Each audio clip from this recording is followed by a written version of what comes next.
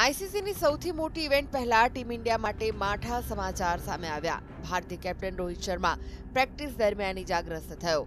News agency એએનઆઈએ હાલમાં જ એક ટ્વીટ કર્યું છે. ટ્વીટ પ્રમાણે ટીમ ઇન્ડિયાના કેપ્ટન રોહિત શર્માને ઇન્જર્ડ બતાવવામાં આવ્યો છે.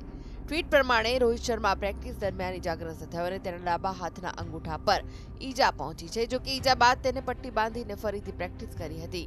ઈજા કેટલી ગંભીર છે તેનું અપડેટ સામે આવ્યું નથી. પરંતુ રોહિત શર્માએ એક નિવેદનમાં જણાવ્યું કે હું ટીમને એક આઈસીસી ટ્રોફી આપવા માંગુ છું. આના પરથી માની શકાય કે રોહિત શર્મા મેદાનમાં ઉતરશે. જો મેદાનમાં નથી ઉતરતો, તો middle order Gujarati batsman Cheteshwar પૂજારાને ટીમની કમાન સોંપવામાં આવી શકે છે. ઉલ્લેખનીય છે કે ટીમ ઇન્ડિયા સતત બીજી વાર આઈસીસી વર્લ્ડ ટેસ્ટ ચેમ્પિયનશિપની ફાઇનલમાં પહોંચી છે. ગયા વખતે ટીમ ઇન્ડિયાના સામે ફાઇનલમાં કીવી ટીમ સામનો થયો હતો, જેમાં વિરાટ કોહલીની આગેવાની વાળી ભારતીય ટીમને હારનો સામનો કરવો પડ્યો હતો. ખાસ વાત એ છે કે છેલ્લા દસ વર્ષથી ભારતીય ટીમ એક પણ આઈસીસી ટ્રોફી જીતવામાં સફળ થઈ શકી નથી. આ વખતે આઈસીસી ટ્રોફી જીતવા માટે ટીમ ઇન્ડિયા પર ભારે દબાણ છે. Bureau report TV